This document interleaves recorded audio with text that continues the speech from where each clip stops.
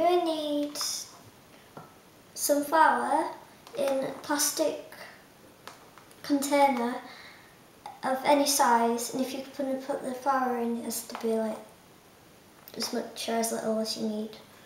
You've got water as well and a tablespoon. That's flour. You need to put this in here and add little amounts of water.